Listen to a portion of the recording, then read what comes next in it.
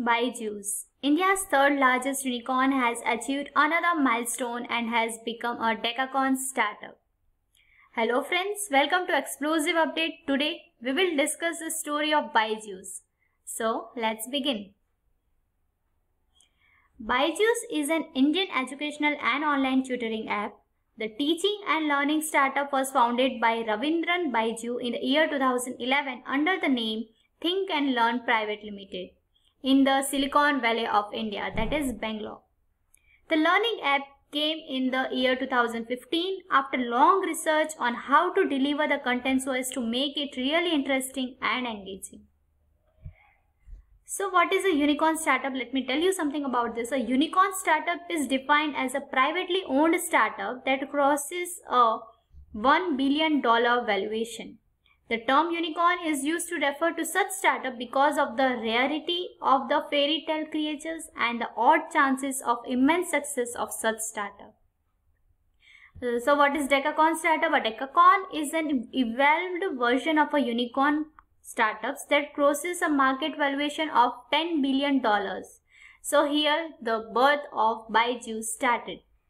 Raveendran Byju first started taking coaching classes for SET exams after his great result in exam, the number of students he taught increased overnight. In a very short span of time, he was teaching thousands of students across many Indian cities. Eventually, he started teaching students from different classes, 10, 12, etc. and has paved the way of his edtech startup Byju's. USP of Byju's Byju's wanted to make learning easier and interesting for students. His main focus had always been on creating engaging study material and focusing equally on all types of students unlike focusing only on the toppers and bright students. Raveendran says, our USP is that we make every student fall in love with the learning and not focus on just the motivated ones and the toppers.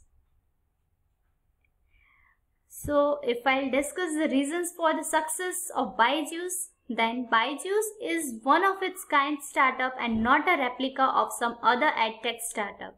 They did not copy something. Rather, they built something unique which is now recognized globally. The diverse content that Byju's delivers and a deep understanding of its target audience is what made Byju's instantly successful. Things like animations, games, videos, etc. fulfill the aims of self-motivated students to learn and get addicted to learning. How did it grow? So one thing is that of the investments. Byju's earned an investment of rupee uh, $9 million from Aarin Capital before the launch of the app. In 2015, they received funding from Ravi Shankar and Sequoia worth $25 million in 2015. In 2016, Sequoia did its second investment in Byju's which was worth $75 million. Yes, it also comes with a marketing also. Byju's was quick to observe the dominance of celebrity advertising for the promotions of any products or services in India. This is the reason why Shah Rukh Khan had advertises the educational app. Thus, people are convicted to buy subscriptions of the app or at least sign in for free. The main success of income for Byju's and the subscriptions that students take, offline careers counseling, offline coaching and website purchases. All the reasons mentioned above have led Byju's to acquire the popular title of Unicorn Startup.